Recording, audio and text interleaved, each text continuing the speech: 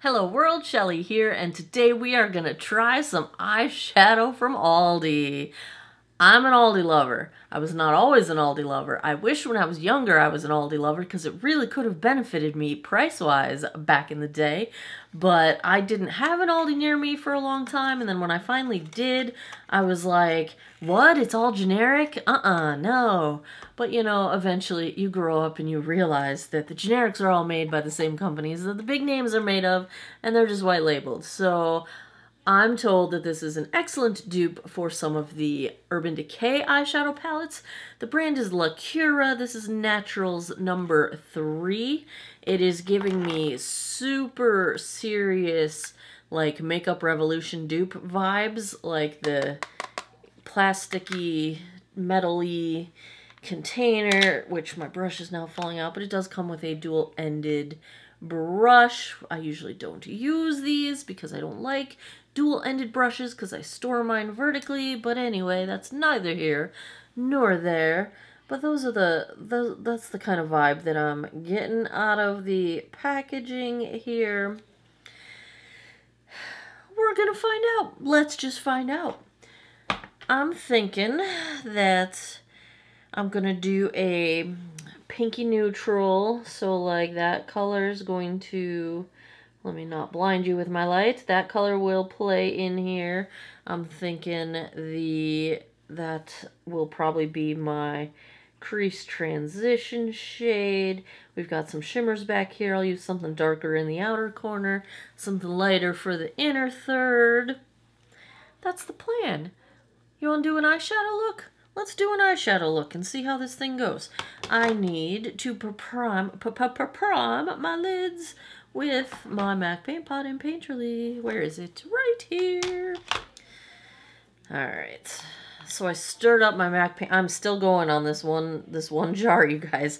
It's kind of a miracle. And the thing is, this stuff never dries out. When you think it's starting to dry out, just stir it up like I did. And it's it's just back to magic. It's so good. I'm just it's my I don't need another eye primer for the rest of my life. I really don't. There's nothing is going to change my love for the MAC Paint Pot in Painterly. It has literally never failed me as an eye primer. I know it's supposed to be an eyeshadow, whatevs, it's a primer to me. Painterly for the cool toned amongst us. Soft ochre's the shade you want if you are warmer or yellow undertone. Alright. Let's find my Wayne Goss number three. Now, Wayne Goss's old brushes. Man, have you seen some of his videos lately? Whoo, boy. His old brush line doesn't seem like it's coming back. I think he will only have the new brushes that he just put out. I did get a couple of them. I haven't used them a ton yet to have a full opinion of them, but I'm sure they're fantastic because I love his brushes. Holy cow. He's had some uh, ups and downs in his business life. Should I zoom you guys in? Let's zoom you guys in. Let's see how close we can get where it's not going to be obnoxious. Sorry, I'm moving my mirror so I can see what I'm doing here because I'm going to be looking here while you guys are looking at me. Alright, so I'm going to start with the shade Subtle, this one here, and use it as sort of a transition, sort of crease. It will it will be less of the crease and more of the transition once I go in here with a darker shade. But that actually has more color than I anticipated. Alright, we need to make sure this camera is going to focus. Am I crazy? Is it not focused right now? I'm to take my Sigma E25 into the shade Latte. These do look a lot lighter in the pan than they look on the lids, which is good because they were looking a bit weak in the pans to me. But this level of payoff is just fine. They're blending easily. No trouble. No trouble. I've got my Smith 253 brush, and I think I'm going to go in with this espresso shade on the end and use this as the... Whoa, that is darker than I expected. I guess I should have already known that because I just finished telling you that the shades are darker on the lid than they look in the pan. it's fine. It's all fine. It's all fine. I'm going to blend out a darker shade in the crease anyway, so we're going to be fine. It's a very pretty, pretty undertone there. I wiped off that same brush. We're going to go into that bling pink shade and use this across the center of the lid.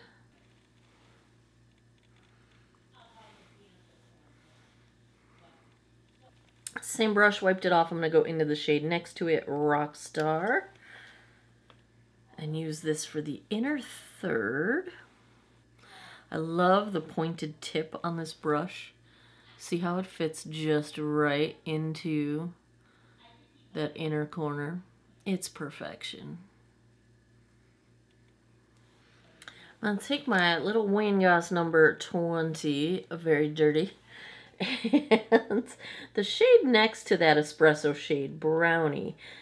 I would do espresso, but it's a little more of a satin finish, and I this one looks like it's a little bit closer to a matte.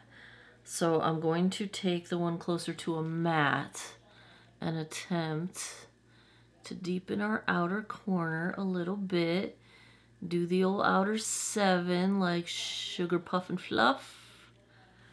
That one did not have as much pigment as I expected compared to the others. Which now that I know that is good because it makes life easier, I think. I want a dark shade that has payoff, but I don't want it to like run me over where one false move and I mess up the whole look. You know what I'm saying? I want a little bit of flexibility there. You see how that's like a number seven? Mmm, such a good trick. I wiped off my number 20 brush and I'm going to go back into that matte shade subtle and just make sure that we don't lose the soft blend I'm barely, barely, barely, barely, barely touching the skin.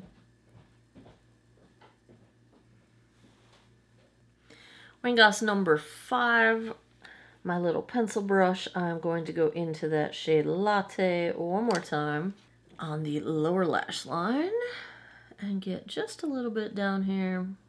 Now, I'm probably going to go I'm going to add a little bit of brownie, that dark matte on the outer third, just to give it a little bit more definition.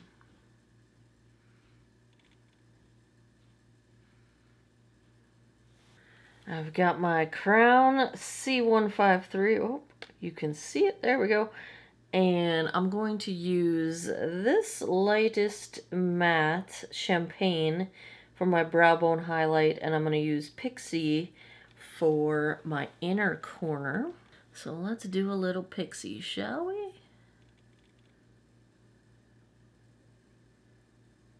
That's nice. And champagne for the brow bone.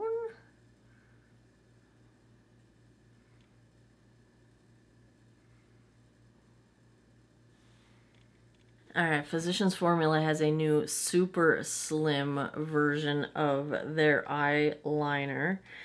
This one is waterproof, and if you recall, they have been sort of a dupe for the old KVD tattoo liner back in the day. Well, this is an even thinner version of the brush. I'm gonna try to do some liner. Uh, I don't do this very often anymore, so this could be a disaster. Let's try.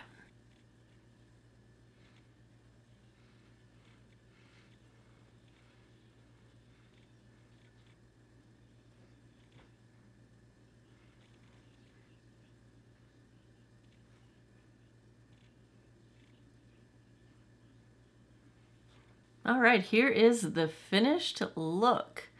I am really loving the undertone of that deeper matte shade. It is just a perfect neutral leaning cool. Like this this palette is just a smidge on the cool tone side, which is my happy place. So I'm very pleased. What do I think? Well, let, let me tell you what else I did. Waterline 24/7 waterline pencil. My mascara is the Color Street Triflex. Forgot to curl my lashes, so all that heavy lifting is being done by the mascara. My face, if you are interested in seeing how I got the rest of this look, check out Wednesday's video because I'm testing out some more from the Physicians Formula 2024 line, their Butter Glow Contour Wand, their latest Butter Glow Bronzer and Blush, and of course you saw the liner pencil. So, not pencil, well, pen, eyeliner, pen, liquid liner. Whoa. Words. I'm also wearing, surprise, surprise, color plop, color plop. there's there's a meme in there somewhere. ColourPop Ultra Blotted Lip. I think this is the one called Still an Icon. Mm-hmm. Because I can't find my lip gloss. I don't, I don't, where, where'd my lip gloss go? I, I don't, I don't know. I don't know. So we're wearing this, even though I would love to put a lip gloss on right now. Mmm, dry, feeling dry, feeling dry. But let's talk about this eyeshadow. I like it. I think it's totally fine. I think, you know, am I going to stop buying Natasha Denona? No, I'm not. But that is because I'm an eyeshadow hoarder and I love buying eyeshadow and I love a good deal and I love bougie things. So I'm going to buy the ones that all make me happy. They all make me happy. But I tried a whole bunch of shades out of this palette. There's only one, two, three, four maybe five shades that I didn't try. The mattes blended nicely. The shimmers have plenty of payoff. Are they like the most amazing things ever? No, but they're quite affordable. I want to say this was less than five bucks, if I'm not mistaken. It was really inexpensive. I also picked up the smoky eye version of it. They didn't have there was a there was also a warm toned one and then one of them was out of stock. It's kind of one of those things where you have to catch them like right when they come out otherwise they're gone because I went back I got these a week ago and I went back just the other day and they were already gone. So be fast if you're into the Aldi stuff.